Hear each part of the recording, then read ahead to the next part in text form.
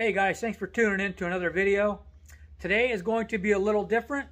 I'm in the shop today and I am going to show step by step how I make wooden drape flags out of a 2x12. This is not my design. I got the inspiration to make these off of Spare Time Woodworkers channel. Um, they are a lot of fun and you can do a lot of different things. Sports teams, American flags, Christian flags, whatever spin you want to put on them. These are great flags to play around with. Uh, so let's get hey guys. Hopefully I got this whole board in the camera. Um, first thing I do, once I get my four foot piece of two by 12, I look at both sides and down at this edge down here, we got got some damage there. Edges are bad. That knot there I think would end up being in the way and it'd be right on the edge and I don't want to take a chance of having a knot on the edge. So what I'm going to do, I'm going to make this the back side of the flag and I'm going to make this the front side. This is going to be the face of the flag. So normally, normally I would come across and make a mark at four, five, and six and a quarter. But for me, on this board, that knot is right on the edge of four. And I don't want, I want to try to get as much of that knot out as I can. So I'm actually going to come over a quarter inch more on all these. Um, just so I miss that, just so I miss that knot. And then on this side, you come down from the from the four inch mark, make a mark at 39, come straight in, make a mark at two and a half, and then run your your four inch line down to the 39, which is right on the edge of the board. And then the five inch, run that down to the mark where you came in two and a half.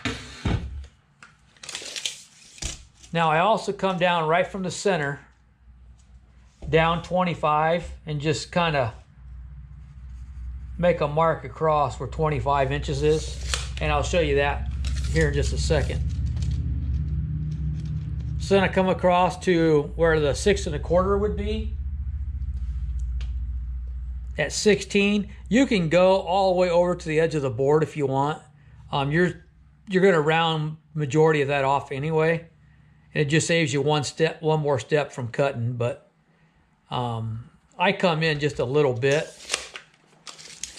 Just makes it a little easier for me to find the find my marks. So then you come down two and three quarter. And I put those marks on. Like so. And then from 16 to two and a quarter, or two and three quarter. All right, now back where we drew the line down to 25 inches, I come from there over to eight and a quarter, and then I just put my eight and a quarter, I line that up with wherever my 25 inch mark is. That's kind of how I get my, my angle for this, this part right here. Like so. And then I'll connect that, that line right up to the, the center line as well. So then you can come in from this mark at two and a quarter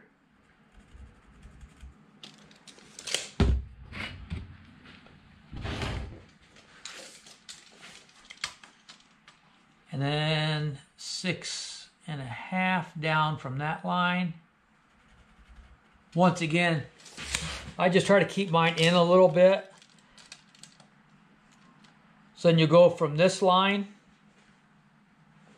and I believe that is five inches. Let me double check that. Five inches. Wherever my five inch line falls, so it's gonna be right on the edge, right there. Real close to it.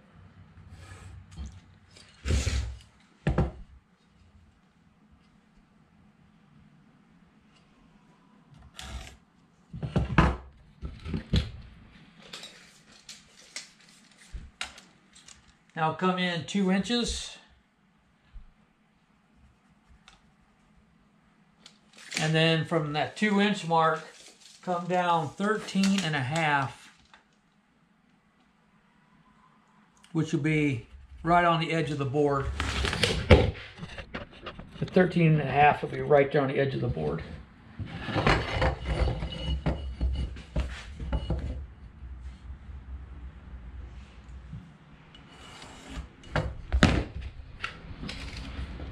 And then this, I usually go four inches right here from there to there. And guys, just remember, none of these measurements, you don't have to worry about being precise on these because you're going to be carving out anyway and you're some flags you're going to take off more you're going to leave some in different areas on the flag so don't don't worry about being precise on these measurements now your 13 and a half mark and your 39 mark should be pretty close to to matching up down here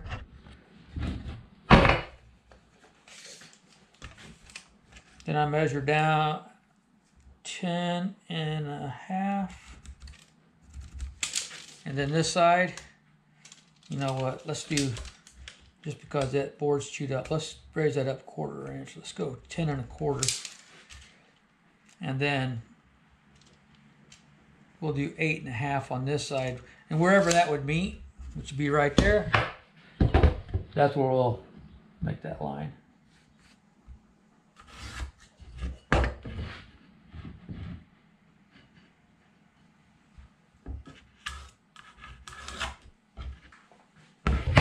Okay, so that should give you the basic shape of the flag to cut out. Now once you cut the shape out, this this line right here, the second line in, that's going to be one of the rolls or one of the folds in the flag, and so is this one, as well as the one that goes across the bottom. So you can make those as deep as you want them. Uh, just remember, the deeper you go, the the longer you're going to be grinding and sanding this thing, and also it it does affect how you can lay your stars out.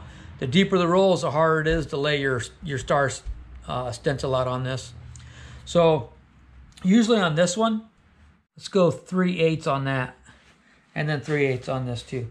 I did I did a quarter on the last one, and I actually liked it better doing it this way. And then I did a quarter on on this one. I've done it both ways, and I just think the depth looks better when the when this roll is deeper than than this roll would be. So we'll do a quarter here, and then we'll do three eighths on there. Um, and then I'll show you that when we start shaping all of it. But I'm gonna get the sawhorses set up. I'm not gonna I'm not gonna film cutting it out in shape. That's pretty self-explanatory. Just follow the line. Okay, guys, I've got I've got three of the flags um, out there. They're cut to shape. So now I'm gonna get ready to start grinding and shaping them. So I'm just gonna kind of show you what I use. Um, I've tried some different things, but this is what I found that works best for me. Uh, just a four and a half inch grinder. And to be honest, I have found that these Warrior flat disc 36 grit from Harbor Freight, they work, to me, they were just as good as the ones you buy at Lowe's, and they're half the cost. Um, I have tried using one of the Kutzall, and at least the one that I ordered did not work good for for these flags. Um, so this these are my go-to, and they're pretty cheap. I want to say they're four bucks or less. I think at Harbor Freight, if I remember right. And you can get, depending on how how your wood is, um, if you pick the best two by twelves that you can pick, um, without a bunch of knots, you can probably get three flags maybe out of a disc.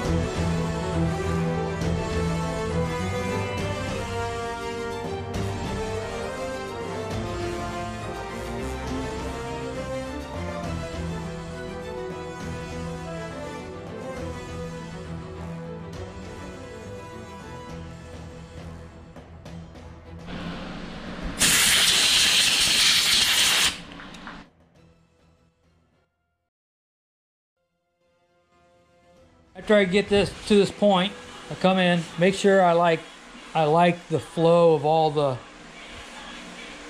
of all the waves that I put in it. And then well, sometimes when you once you grind and sand it down, you'll run into some cracks that you didn't see. So you got to make sure you're looking good for them. But then you see the voids in those knots. And then there's one right there. So I come back in right now and then I, I use CA glue to fill those in. So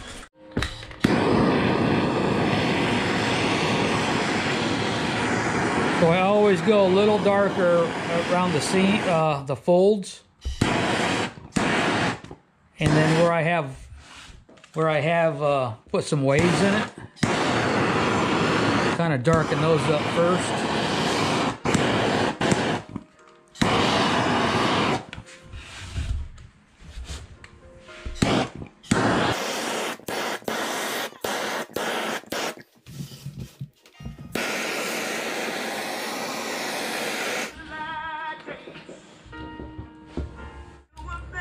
The places that the big torch won't reach, then I get a smaller torch out and then I go in and I try to hit it, hit the, the tight creases a little bit better.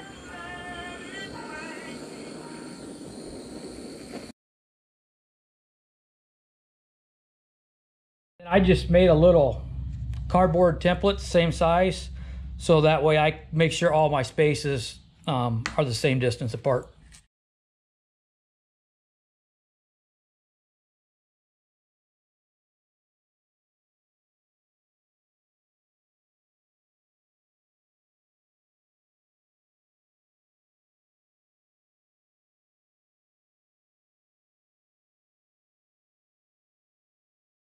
I got the flag elevated so that way that way I can get my hand around and make sure I get far enough on the back side that it covers everything. Now depending on how you're going to put your stars on, if you're going to paint them it doesn't matter. But if you're going to carve them, just remember the the darker you make this and the more stain you put on, it's just that much deeper you're going to have to carve to get all the color out of your out of your stars.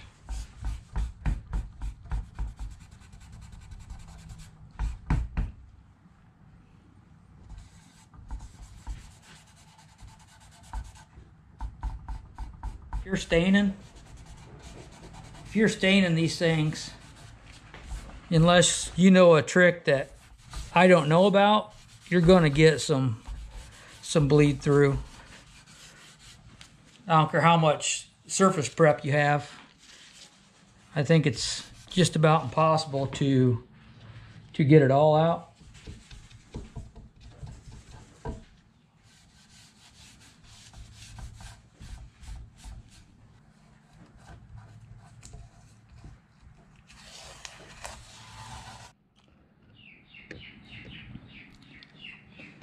See there's just a little bit of bleed through on some of this. Like I say, it's, it's just about impossible to stop. Um, for the most part, the lines are pretty crisp. So most of these lines, I could actually get away with just using them. Um, but like right there, I don't like the way that looks. And where the where the where the blue and the red come together, there's a couple voids there.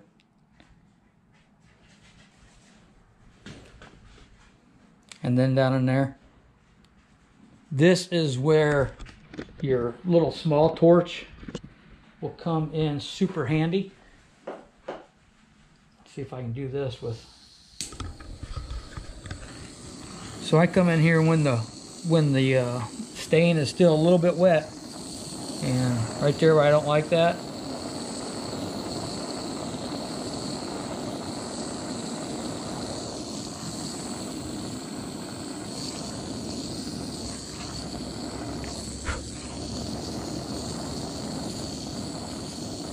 Just brown that area up just a little bit.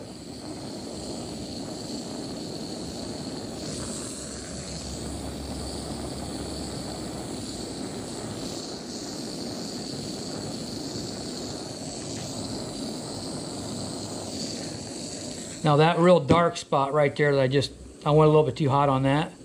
I will sand that down a little bit to, to bring out the, the light color of the wood right there. So that's as far as I can go with this one today. I'm going to set this over on the rack, let it dry, and then tomorrow I will uh, start getting the stars stenciled out and get them get them carved, and then I'll get at least one coat of clear on this tomorrow. Okay, guys, it is the next morning. I got the flag laying and I got my stencil out. Um, when you're doing this, the biggest thing is just make sure that your stars are pointing in the right direction. Um, real quick. So you see that, so when you're working this side of it, you try to line your stencil up on the edge of the union right there with your points going up. And then up here, you just do the same thing. You line your stencil up with the angle of the union. You know, I see people that will just put all their stars the same direction, but that's not really how it would look on a draped flag. The stars would, they wouldn't all just be the exact same way, you know, because the flag's hanging at different angles. So just line your stars up, your stencil up with the edge of the union, and as long as they're pointing in the right direction, you'll be good.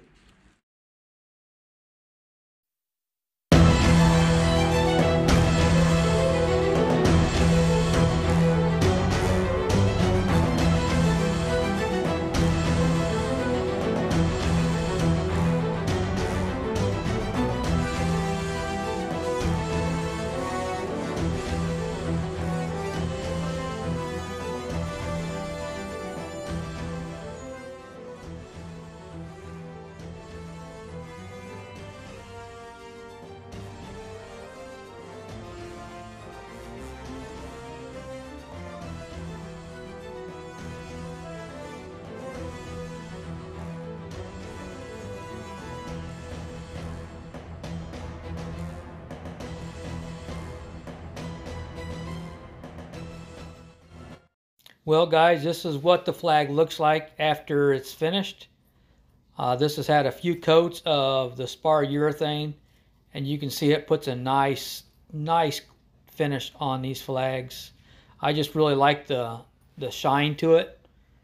Uh, this flag is actually going to be donated to an organization to help raise some money. Um, so I just actually just hung this up so I could um, finish this video off. But that's it, guys. I, I hope you guys um, go get yourself a 2x12 and try this.